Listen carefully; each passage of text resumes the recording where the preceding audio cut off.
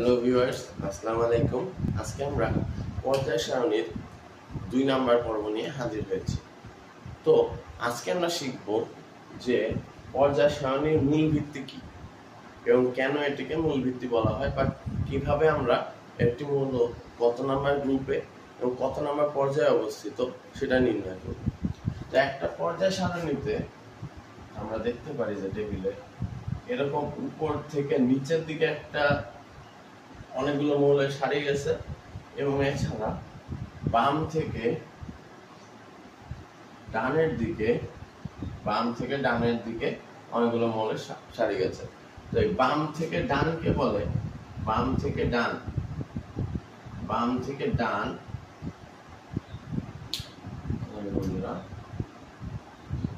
বাম থেকে ডানে যাওয়া। এই বাম থেকে ডানকে বলে হলো পর্যায়। পর্যায়।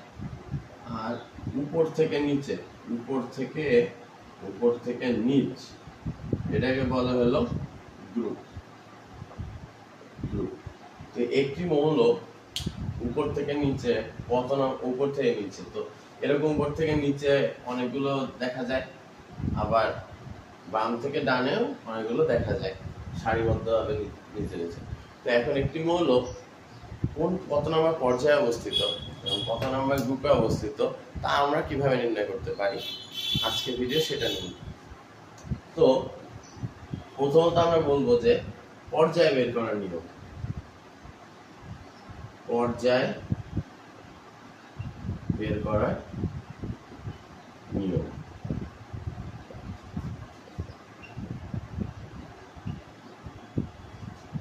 পর্যায় বের করার নিয়ম হলো একটি মৌল একটি মৌল একটি মৌল, সর্ববহিস্থ, একটি মৌল, যত নাম্বার কক্ষপথ আছে বা একটি মৌলে যে কয়টি অরবিট বা কক্ষপথ আছে, এটা এভাবে মনে রাখা ভালো। একটি মৌল, একটি মৌলে একটি মৌলে যে কয়টি যে কয়টি অরবিট অরবিট বা বা কক্ষপথ আছে কক্ষপথ আছে, তা তত নাম্বার পর্যায়ে অবস্থিত। তত নং পর্যায়ে অবস্থিত। কীরকম আমরা সেটা দেখি। যেমন, hydrogen. Hydrogen one s one.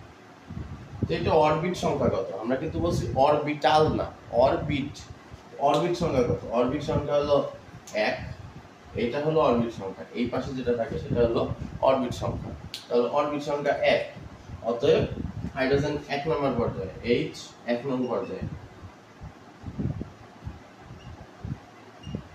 আমরা যদি আরও দেখি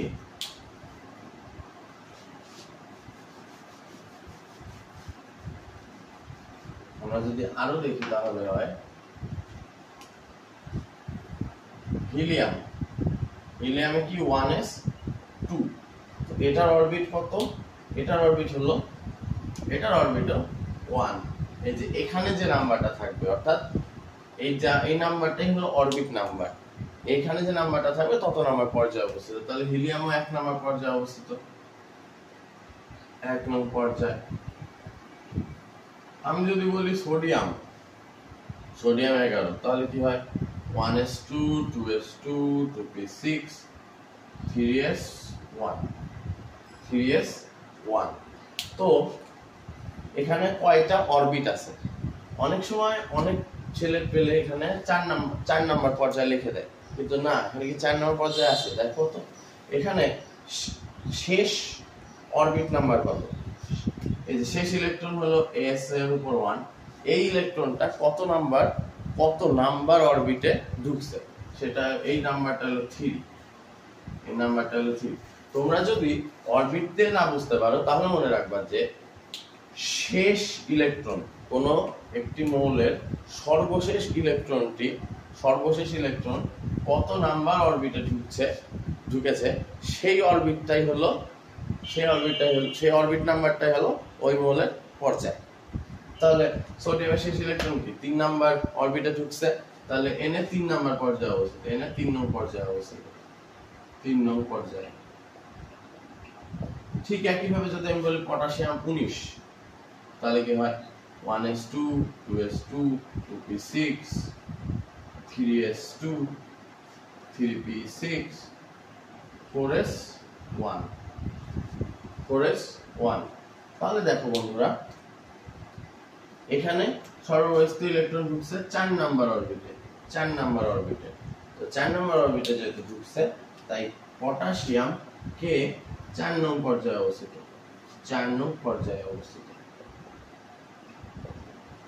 এখন অনেকে বলে যে ডি অরবিটাল নিয়ে তাদের অনেক সমস্যা হয়। যদি ডি অরবিটালে ইলেকট্রন থাকে, তাহলে সেই ডি অরবিটাল নিয়ে তাদের মনে প্রবলেম শুরু হয়। তো দেখি আমরা ডি অরবিটালের একটা দেখি লাইক ম্যাঙ্গানিস পঁচিশ one s two two s two two p six three s two three p six three d five four s two three d five four s two পাঁচ দুই সাত এখানে দশ দশ আর আঠারো আঠারো আর সাত, পঁচিশ। তাহলে এখানে তোমার বুঝতে হবে যে এই যে সর্ব, সর্বশেষ ইলেকট্রন কয়টা এখানে? দুইটা। এই সর্বশেষ ইলেকট্রন কত নাম্বার অরবিটে ঢুকছে?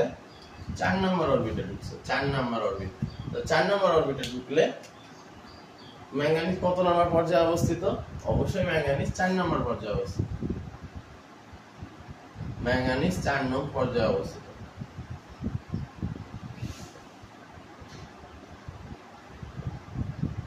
কিন্তু কিন্তু সেটা কি হয়? আমাদের পর্যায় সারণীতে কি বলা হয়েছে? আমাদের পর্যায় সারণীতে দিকে তোমরা ছবি দেখো, তাহলে কি হবে? ছবিতে দেখবা যে স্ক্যান্ডিয়াম একুশ থেকে জিঙ্ক তিরিশ। কত নম্বর পর্যায়ে অবস্থিত? চার নম্বর পর্যায়ে অবস্থিত নাকি তিন নম্বর পর্যায়ে অবস্থিত?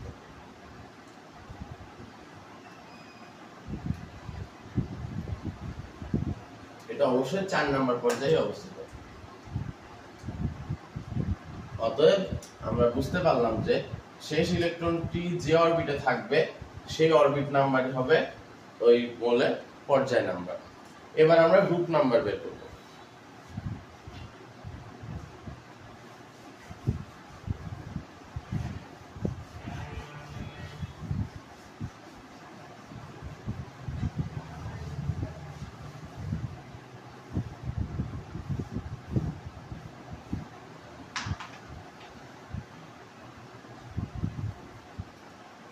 এবার গ্রুপ বের করার নিয়ম গ্রুপ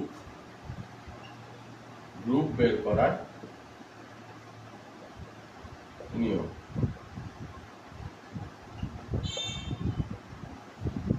তো গ্রুপ বের করতে হয় গ্রুপ বের করার তিনটা নিয়ম আছে। গ্রুপ বের করার বন্ধুরা, তিনটা নিয়ম আছে। তিনটা নিয়ম হলো এখানে হলো সর্বশেষ ইলেকট্রন এবার আমরা অরবিটালের হিসাব করব। সর্বশেষ ইলেকট্রন কোন অরবিটালে আছে, সেই অনুযায়ী আমরা গ্রুপ বের করব। সর্বশেষ ইলেকট্রন এস অরবিটালে থাকছে। সর্বশেষ ইলেকট্রন সর্বশেষ ইলেকট্রন এস অরবিটালে আছে। এস অরবিটালে থাকলে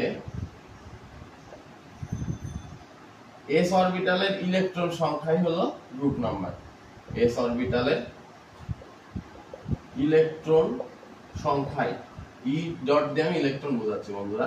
ইলেকট্রন সংখ্যায় ওই মলের গ্রুপ নাম্বার ওই মলের গ্রুপ নাম্বার কীরকম দেখি? Sodium eleven one s two two s two two p six three s one সর্বশেষ ইলেকট্রন কোন অরবিটালে আছে? সর্বশেষ ইলেকট্রন আছে এস অরবিটালে দেখো বন্ধুরা এস অরবিটালে এবং সর্বশেষ এস অরবিটালে কয়টা ইলেকট্রন আছে? এস অরবিটালে ইলেকট্রন আছে একটা একটা। এস অরবিটালে যদি একটা ইলেকট্রন আছে সোডিয়াম এক নাম্বার গ্রুপে অবস্থিত। এনে এক নাম্বার গ্রুপে এক নং গ্রুপে অবস্থিত। ঠিক তেমনি ম্যাগনেশিয়াম বারো ম্যাগনেশিয়াম বারো one s two two s two two p six three s two তাহলে এখন দেখো বন্ধুরা সর্বোচ্চ ইলেকট্রন এস অরবিটালে অবস্থিত এস অরবিটালে কয়টা ইলেকট্রন দুইটা ইলেকট্রন অবস্থিত। তাহলে এস দুই নং গ্রুপে অবস্থিত। দুই নং গ্রুপে অবস্থিত। ওকে বন্ধুরা, আরেকটা নিয়ম হলো, আরেকটা নিয়ম হলো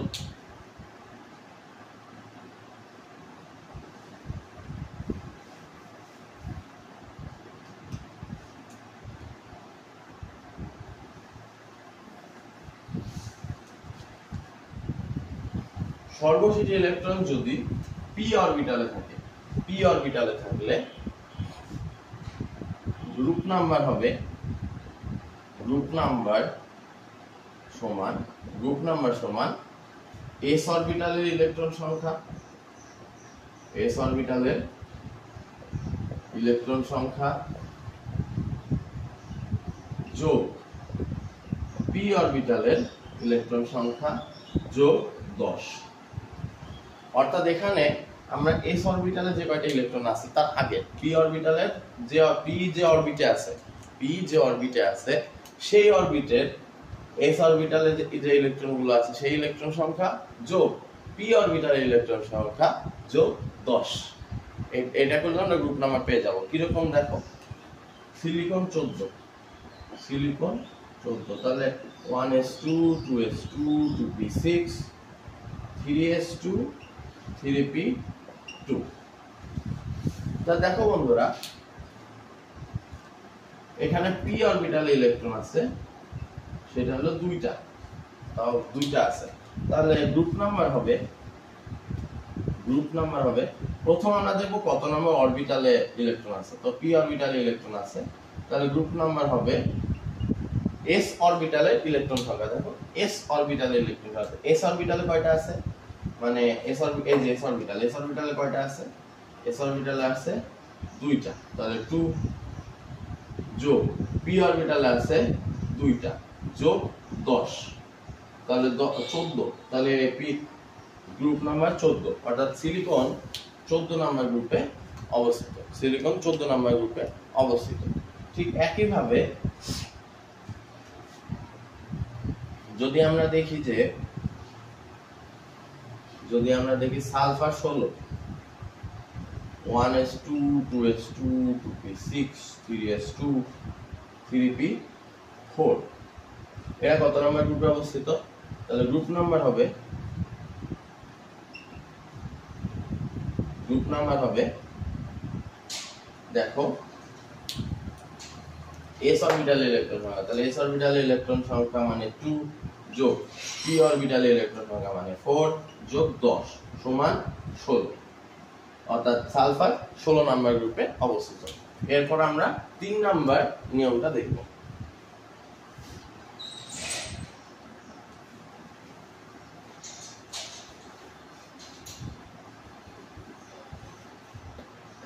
তিন নাম্বার গ্রুপটা হলো, নিয়মটা হলো, যদি সর্বশেষ ইলেকট্রন ডি অরবিটালে থাকে, তাহলে গ্রুপ নাম্বার সমান গ্রুপ নাম্বার হবে নাম্বার হবে। এস অরবিটালে ইলেকট্রন সংখ্যা যোগ ডি অরবিটালে ইলেকট্রন সংখ্যা। এস অরবিটালে ইলেকট্রন সংখ্যা যোগ ডি অরবিটালে ডি অরবিটালে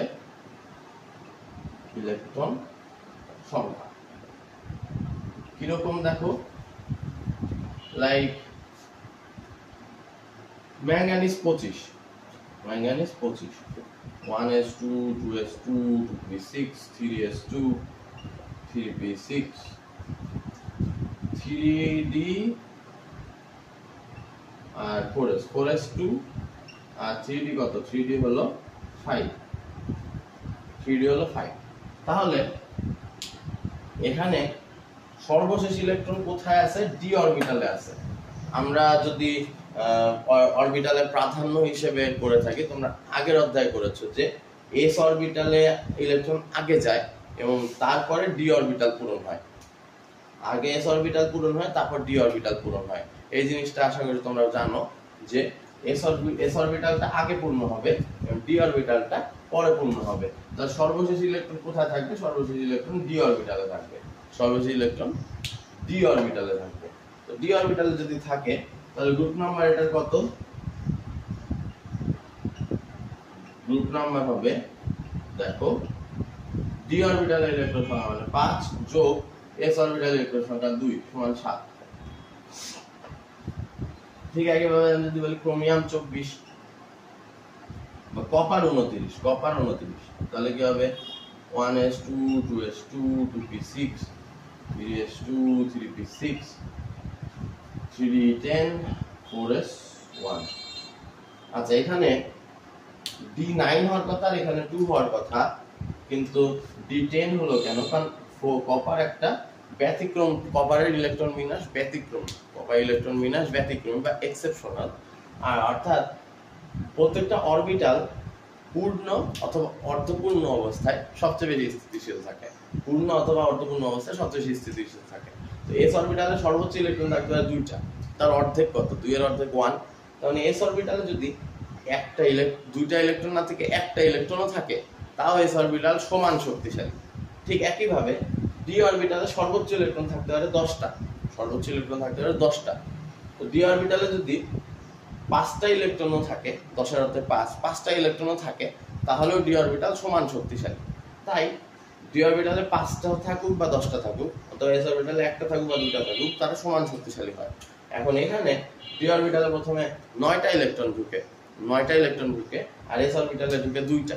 কিন্তু এখন ডি অরবিটাল এস অরবিটালকে বলে, এস অরবিটাল ভাই, এস অরবিটাল ভাই, আমার দশ, আমার দশটা ইলেকট্রন দরকার, কারণ তুমি একটা ইলেকট্রনও সমান শক্তিশালী। কিন্তু আমার তো নয়টা আছে, আমি তো নয়টা ইলেকট্রন দিয়ে শক্তিশালী হতে পারছি না। আমি তো নয়টা ইলেকট্রন দিয়ে শক্তিশালী হতে পারছি না। তো এই কারণে আমার তোমার থেকে একটা ইলেকট্রন চাই। এস অরবিটাল বলে কথা শক্তি, আমি তো সমান শক্তিশালী থাকবোই। তো তোমাকে একটা দিয়ে দিত ও একটা ইলেকট্রনকে দিয়ে দেয়, তাই ডি অরবিটাল পূর্ণ হয়ে গেল, দশটা হয়ে গেল। ডি অরবিটাল অনেক শক্তিশালী। এস অরবিটাল একটা থাকল এস অরবিটালে একটা থাকল, তাও সে শক্তিশালী। তাহলে এবারে গ্রুপ নাম্বার কত? এই গ্রুপ নাম্বার এই গ্রুপ নাম্বার সমান ডি অরবিটালে দশ যোগ এস অরবিটালে এক। মানে গ্রুপ নাম্বার হলো এগারো।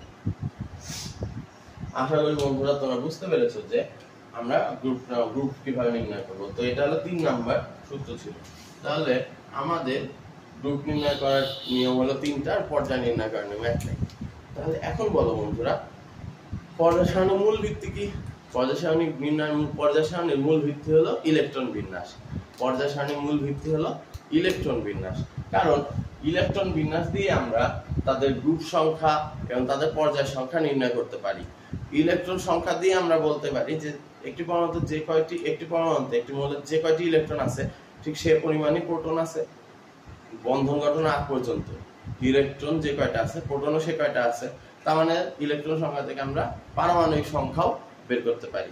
তাহলে ইলেকট্রন বিন্যাস দিয়ে আমরা পারমাণবিক সংখ্যা বের করতে পারি ইলেকট্রন বিন্যাস দিয়ে আমরা পর্যায় বের কত নাম্বার পর্যায়ে মৌলটা আছে তা নির্ণয় করতে পারি এবং ইলেকট্রন বিন্যাস দিয়ে কত নাম্বার গ্রুপে অবস্থিত তা নির্ণয় করতে পারি। এই তিনটা পয়েন্ট দিয়ে দিবা দেন বলবা যে অতএব পর্যায় সারণী ভিত্তি হলো ইলেকট্রন বিন্যাস। ধন্যবাদ সবাইকে, আজকে এ পর্যন্ত